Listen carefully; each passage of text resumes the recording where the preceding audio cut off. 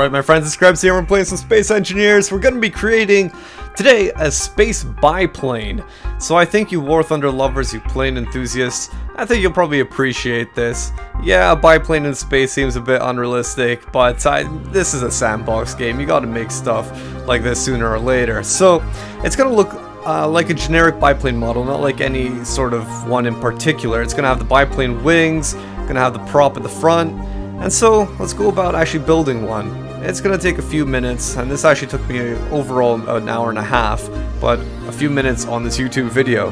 So you start off with those few initial blocks just to frame out the hull of the actual aircraft, and then I started working towards the frontal section of it so I could get the prop in there, the ro rotor that's actually gonna turn the propeller, and it gives me a general idea of, yeah, that looks doable. It looks like we've got some good progress and we could probably make this aircraft.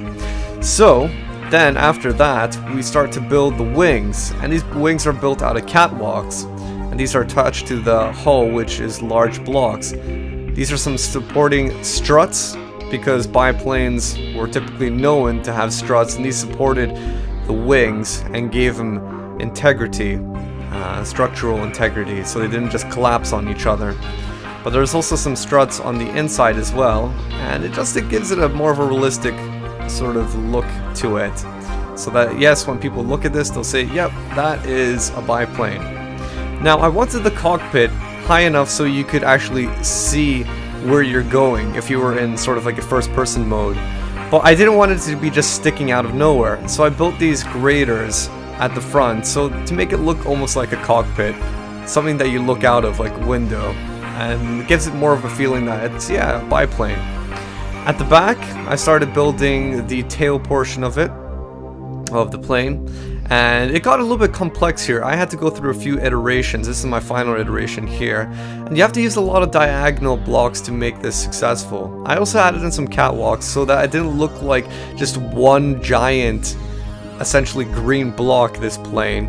It makes the sections look a little bit more divided and makes it look a bit better in my opinion. Then when it comes to the actual internals of the air aircraft, the spacecraft I guess you could say, to make it run, I dug a little bit into the hull, placed down some reactors, gyroscopes, and also gravitational generators.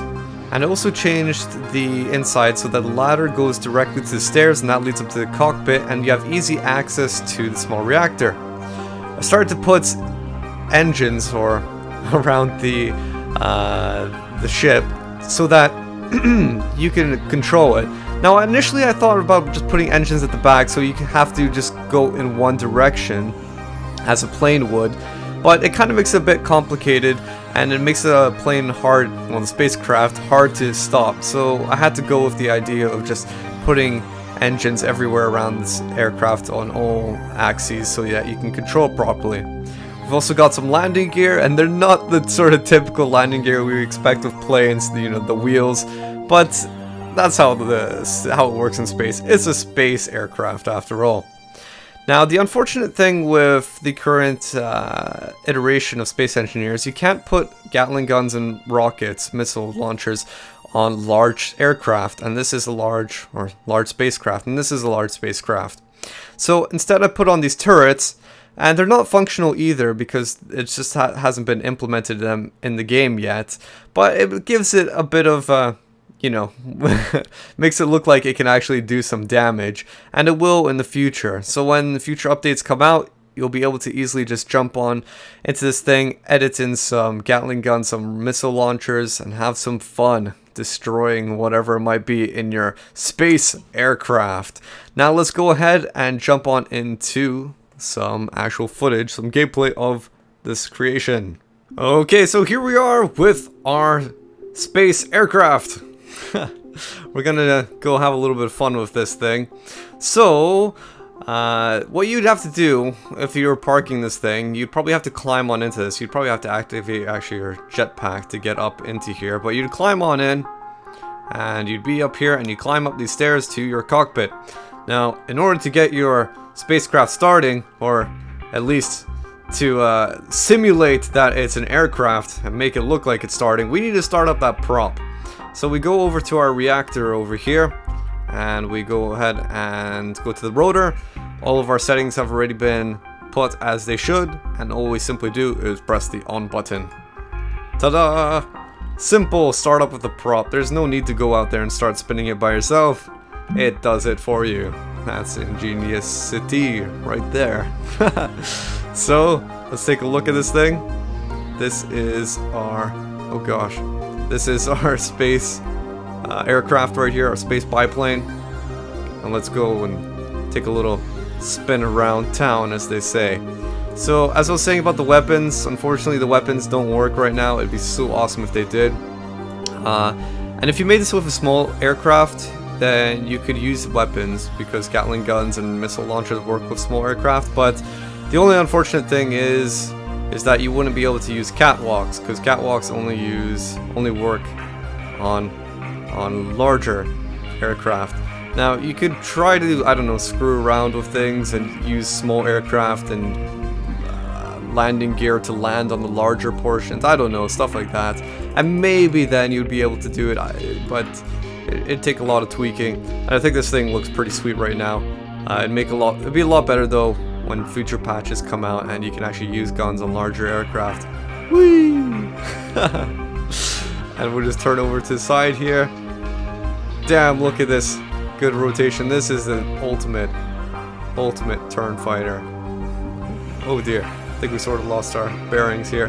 Now we're gonna go in for uh, a space landing so the sort of space landing I mean when you're gonna use your landing gear and then we'll try out on a runway an aircraft landing that you would use with your biplane if you're fly, uh, flying a biplane. Alright, so here we go. Let's just get into position. Start slowing down. Start slowing down, please. There we go. And now we just drop ourselves down.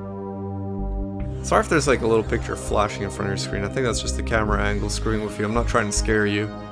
If that's what you're thinking.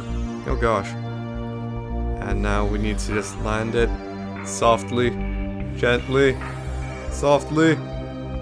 We need to look for that yellow landing gear. I just don't want the prop to hit. Yeah, we got plenty of space there. And now we lock it into position and we get on out. We'll go down here just to make it show you guys what it's like. See, and there's the prop. Huh. Ingenious. uh, so, say if we have a scramble alert, we've got enemies coming in, the Japanese are attacking Pearl Harbor, we go ahead and jump on into our spacecraft, because that's just what they did in Pearl Harbor, I guess. And, and we take off unlock our landing gear, and off we go. Off to the battle, as they say. Alright, so now what we're gonna do is we're gonna try to do an aircraft landing. So let's go out there and get a bit more speed. Um, I'm hoping that this aircraft landing will be sm uh, smooth, but we're not gonna we're not gonna try to land like you know vertically as if we were some sort of modern day jet.